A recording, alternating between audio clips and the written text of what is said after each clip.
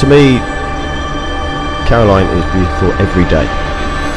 Uh, in appearance, in mind, in body, everything. She made me see things that I've never really seen, an angle on life that I've never seen before.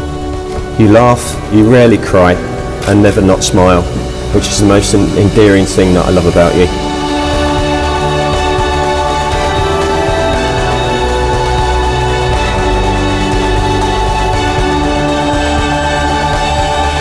We complement each other so much in every challenge, decision, but also in just having the crack together.